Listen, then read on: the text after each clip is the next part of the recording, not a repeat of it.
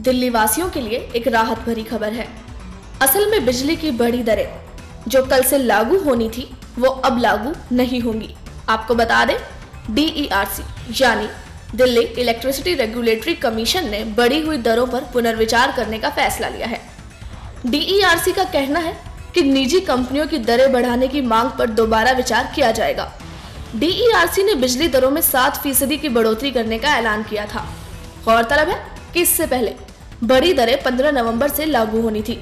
Regulator ने बिजली पहुँचाने वाली तीनों प्राइवेट पावर डिस्ट्रीब्यूशन कंपनियों की मांगे मांगते हुए सरचार्ज लगा दिया था, जिससे टैरिफ में इजाफा हुआ। तीनों पावर डिस्ट्रीब्यूशन कंपनियाँ काफ़ी लंबे समय से पावर टैरिफ में बदलाव की मांग कर रही हैं। बीएसईएस यमुना बीएसईएस राजधानी और टाटा पावर दिल्ली डिस्ट्रीब्यूशन ने बिजली खरीद लागत बढ़ने का हवाला दिया था। वहीं इस साल 17 जुलाई को डीईआरसी द्वारा घोषित बिजली की नई दरों में आठ दशमलव पाँच फ़ीसदी तक बढ़ोतरी की गई थी। हालाँकि तीन महीने के लिए पीपीएसी हटाने से इसका ज़्यादा असर उपभोक्ताओं पर नहीं पड़ा था, जिसके बाद 11 अगस्त 2014 से 400 यूनिट प्रति माह तक बिजली खपत करने वाले उपभोक्ताओं को सब्सिडी भी दी जा रही है, जिससे उपभोक्ताओं को राहत मिल रही थी। नेक्स्ट नाइन न्यूज़ के लिए चीनू की रिपोर्ट।